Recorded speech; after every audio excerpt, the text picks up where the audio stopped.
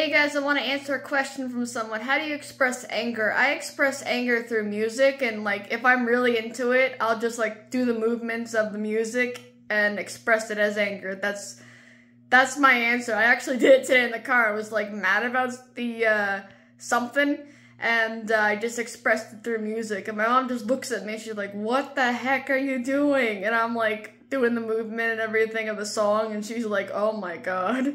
yeah, it was pretty funny today. So yeah, I thought that would be uh, helpful to talk about how I express anger. So yeah.